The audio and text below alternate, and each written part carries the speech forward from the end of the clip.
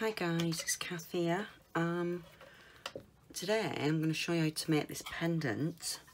Um, I had loads and loads of comments in Katie's Polymer Clay Friends Facebook group and I've had a couple of private messages about how I did it and stuff so I thought um, I'd just do a quick tutorial and show you how I did it because it's really really simple. Right, what you're going to need is some clay. I've conditioned it. I'm using uh, Premo Sculpey in black. Uh, a die, uh, a die, a cookie cutter, cutter, whatever shape you want to use. Uh, some perfect pearls, uh, mica powders, I uh, don't know what colour I'm going to use yet, but I've got a few here. Uh, Perfect Pearls doesn't need um, coating uh, because once it's got a binder in it, so once it's baked onto the clay, it um, it sets and doesn't come off, which is really good. Uh, I have tried it with normal mica and it doesn't work. The mica does wipe off. Um, so you can only do this technique with perfect pearls or you'll need to put some sort of coating on top um, which can be a bit awkward because of the um, the recess that's made with the uh, stencil. Uh, so yeah, clay, perfect pearls, something to shape your pendant on, um, I use these egg poachers. They're absolutely rubbish for poaching eggs, but really good for getting a nice curve on a, a pendant. Uh, you're going to need some stencils. Uh, I've got loads of these Tim Holtz ones because I just love some of the funky patterns he does. And rather than the rose one, I thought I'd use this one today, which is code number 107 uh, Tim Holtz, Stampers Anonymous. Um, you'll be able to find it online dead easy if you want to use this one. Uh, and then you just need a fluffy brush for dusting off. You don't need one, you could use a bit of tissue, it just stops your clay getting marked. Uh, some findings to um, string your necklace up with. I've got some of this lovely rubber cord that I like and a little magnetic clasp which I just uh, glue on. Uh, dead simple findings there and a little bit of um, Sculpey and Bond or whatever it is you tend to use just so that you can stick your um, bail on the back. Uh, we're going to part bake it, put the bail on the back, turn it over, fully cook it and then the bail's nice and strong. Right, let's get started. Um, I've only got a small piece of clay here because it's going to get covered in mica. Um, I don't like being wasteful. So I've got just enough really for my um, cutter and I am actually just going to snip some of these extra pieces off because I don't like waste and I don't want to mix mica clay with my plain clay so uh, my scrap pile is getting ever bigger so I try and be unwasteful where I can. Right, stencil. I'm going to use this stencil and basically I'm just going to pop it over gently press it so that it starts to stick. Then take my little acrylic roller and gently roll over it. And you'll be able to see that it, because these um, mylar stencils uh, just have a bit of thickness on them, it kind of pops up makes it uh, embossed or debossed or whichever the phrase is. I'm just making sure I've got all my edges covered because I did take it a bit tight. And then we're going to put some perfect pearls on. Um, I've got a, this one's called, oh, it's called Perfect Pearl, this one. Uh, and that's kind of a frosty white. And then this is the Heirloom Gold. Uh, and this is Pewter. So I think I'm going to do a bit of an ombre with these three colours. Uh, and I've got just a little finger dabber. I'll just make sure I haven't got any of another colour on it. And um, you're just basically going to pick a bit up on your dabber or whatever, you know, you could use your finger. Um, it's just, I tend to get covered in it. So I'm uh, using my little dabber, dauber, tomato, tomato, however you pronounce it. And I'm putting a pretty decent amount on and just making sure it's pretty well covered.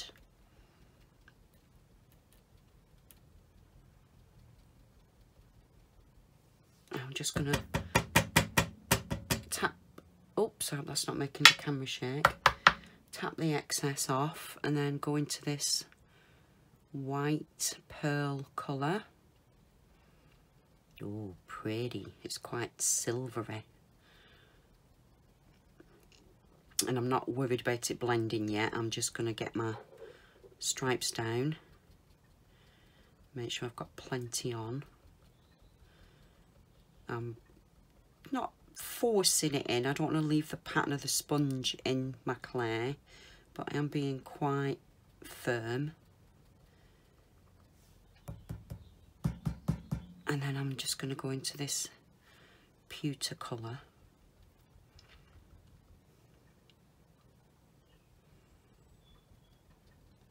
get plenty on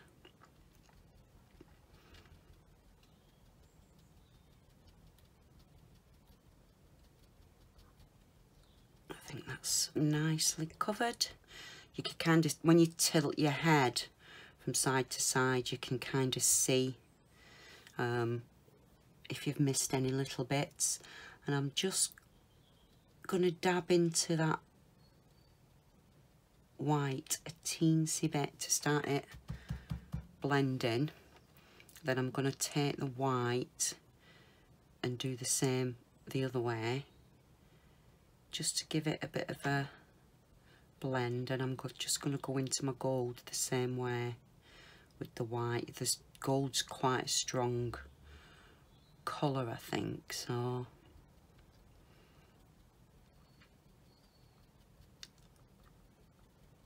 And I think that'll do. And I'll just, wherever I've put my fluffy brush, there you are.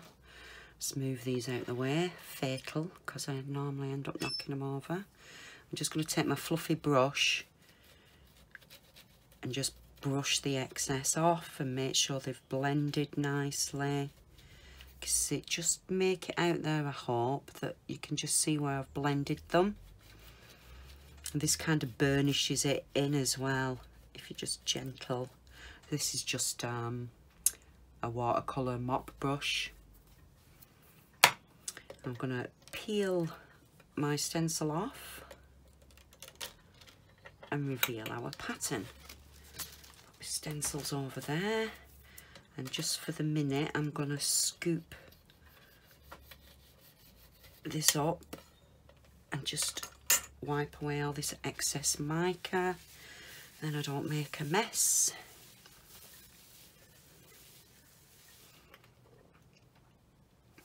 there it is and then I'm just going to get my cutter line it up nicely, cut and these little knobbles on the cutters, I've realised if you just twist your cut around a little bit, it kind of gets rid of that knobble. So you don't have to go back in and trim it. Let's put that to one side bit of fluff on that. Bring in my trusty egg poacher.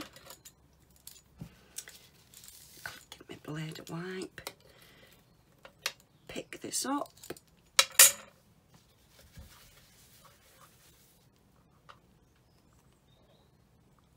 Pop it on. And then very carefully just start encouraging it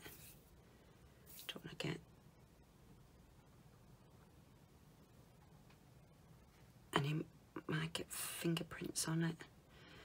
Just gently encourage it.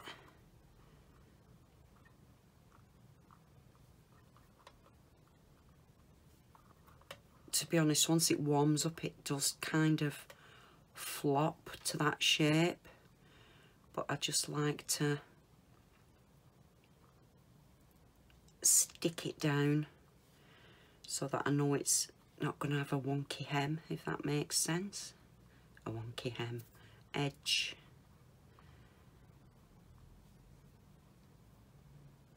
There we go. I think that'll do.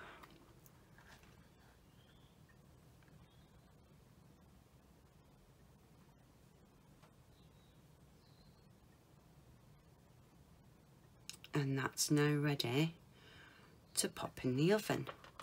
So once it's uh, baked well part baked I'm going to stick it in for about 15-20 minutes just to harden it off and then we'll come back and we'll put the bail on. So I'll see you shortly. Hey guys we're back. It's out the oven cooled down. Nice and bonny. So we're going to now uh, put the bail on the back but just before we do that I just want to show you um, I've dipped this into uh, cold water. I do that with most of the things that come out in the oven because I just want them to cool and set quickly. I'm just going to get a bit of paper towel. And as you can see there's nothing. It is totally bonded. Um, and just to you know little experiment I made this one uh, just before I made this one I did a test with this one just to see how it would stand up to stuff and you can see I've tried scratching it with my nail there and there and I've just literally and I'll do it again. Grab my perf, this is just my everyday perfume. Uh, what I'm just going to show you is even if by accident you catch this with a bit of perfume, you know, you've got it on, you're nipping out, you put a bit of perfume on. Oh, there's a little a little tiny bits come off. I can just see it there. To be fair, that could actually, because it looks black, that could be the clay. So, um, yeah, it's pretty, you know, it'll stand up to most things, I think. It's not going to come off. I, mean, I wouldn't get in the shower in it or anything, but I think without a surface treatment, it'd stand up to, um, you know, everyday wear um, so I'm quite happy not to, to coat it. And for those of you that haven't got any of these Perfect Pearls, I also did this. Um, it's just normal uh, mica. And I've, oh, and I've put a thin coat of um, UV resin over it. I'm not sure if you're going to pick that up on the camera, but you can still see the lovely shimmer of the mica. And this is a two-tone one so it's like pink and blue. Um, so you don't actually lose any of your mica goodness if you like um, so if you don't have uh, any perfect pearls or you want to protect um, your pendants uh, a bit of resin uh, doesn't change how the uh, how the mica works Right, back to this little beauty.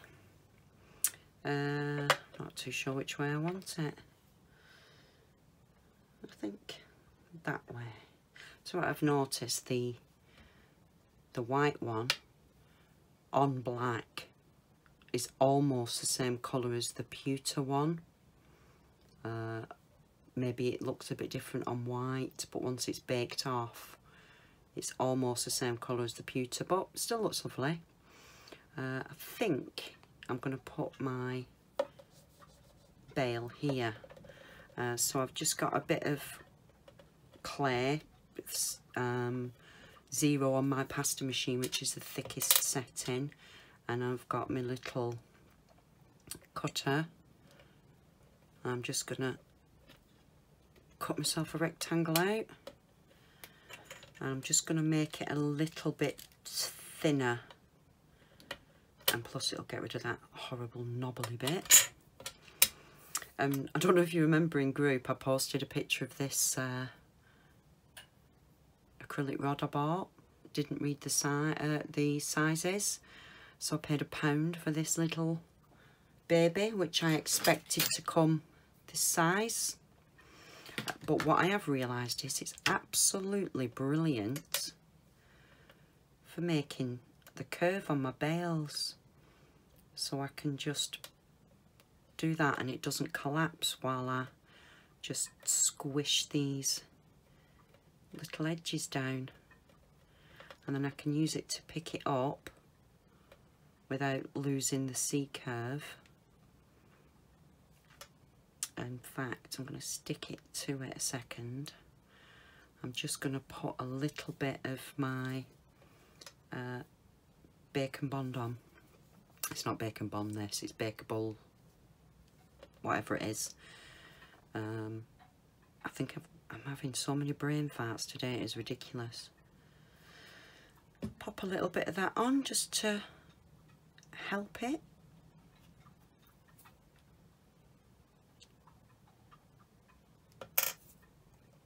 And then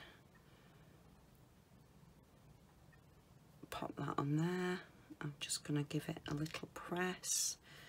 Make sure I've got enough room for my findings and I'll just find a little pokey tool um, obviously I'm trying to be pretty quick because I don't want this to be an ages long video um, but you know you can refine this a lot better and if it's just for wearing yourself it doesn't really matter what the back looks like. Um, but if you're selling them to make, uh, you know, you could take a little bit more time with your finishing.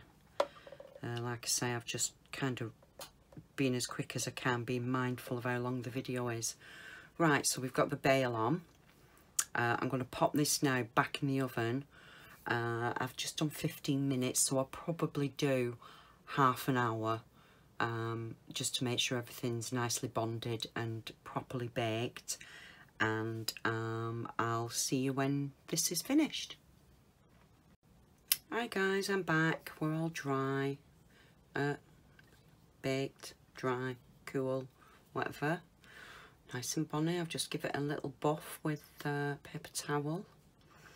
And then we've just uh, going to pop our rubber card on. And there we go. Lovely little necklace. Really simple, really quick. Um, and I mean, you could turn hundreds of these out really, couldn't you? Uh, especially if you're making to sell them. Uh, gifts, for Christmas and things. Really easy. Um, and I'll just show you um, because I'm aware that a lot of people might be from the States. This is, I'll just wind it up. This is the rubber cord I use. This is the 3 mil.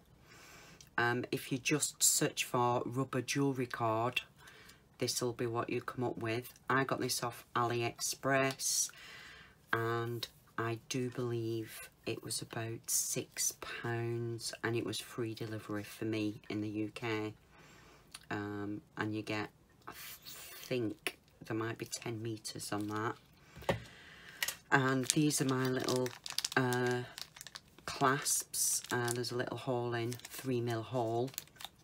I'll just pop a little bit of super glue in stick the cord end in uh, nice and bonny and they've got a little twist I think you'll be able to make that out. There's a little twist on it before it comes out when you put it back in it just turns to make it more stable but it's really strong magnet anyway um, so yeah it's um, you know as as cheap as putting um, a piece of cord with a lobster clasp or whatever. These are um, hypoallergenic as well. Um, so you know I don't have to worry about anybody having an allergy against the metal in it. But yeah that's it guys. Hope you liked it. Uh, I've really enjoyed doing this video actually it's been a long time since I've done some YouTube videos. I used to do it two a week at one time because uh, I used to work for quite a big craft company in the UK uh, and design products for them so obviously I had to make samples and stuff. Uh, but yeah so I might make a few more. Let's see how this one goes down with you guys. Uh, but I hope you enjoyed it. Like I say it was really quick really simple take your time I've obviously rushed um, you know, I could have finished that bail off a bit better, but to be fair, I'll probably just be wearing this and nobody's going to see the back, are they? Um, so, yeah, uh, any questions or anything, leave me a comment and uh, let's play nice people. Nobody wants snarky comments in their uh, on the YouTube videos. And I'll uh, hopefully see you again. Bye.